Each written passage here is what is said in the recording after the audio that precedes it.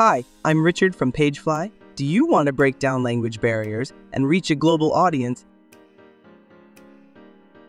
In this video, I will guide you how to achieve that by using Weglot Translation app to get started. You need to access Weglot app first.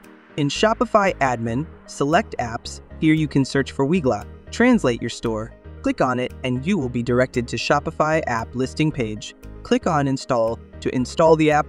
After installing Weglot app successfully, you need to create a new account. You need to enter the email address and password to register the account, then click on Sign Up. Next, you need to choose your original language and destination language. Click Save.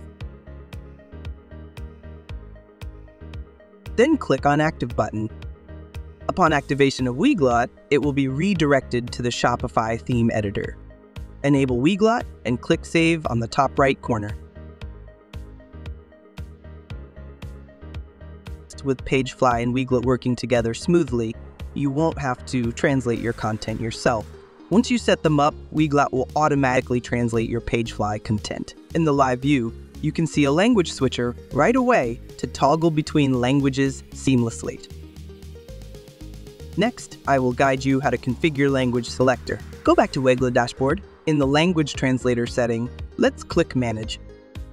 You will be directed to the Weglot dashboard, which will ask you to log in again. Upon successful login, your current Weglot project settings will be displayed. Follow Weglot's instruction to customize the language selector to edit translation.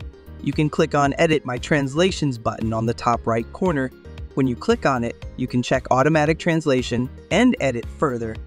In Project tab, you can check how many destination languages. This drop-down menu includes Make Public and Display Automatic Translations options. If you don't want automatic translation, let's turn it off.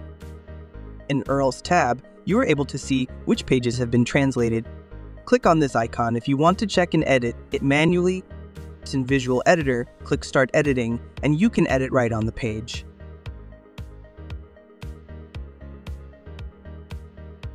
And this is the end of the tutorial. Don't forget to subscribe our channel to get more videos. Our friendly and knowledgeable team is available via live chat 24-7 to assist you with any issues. Thank you for watching.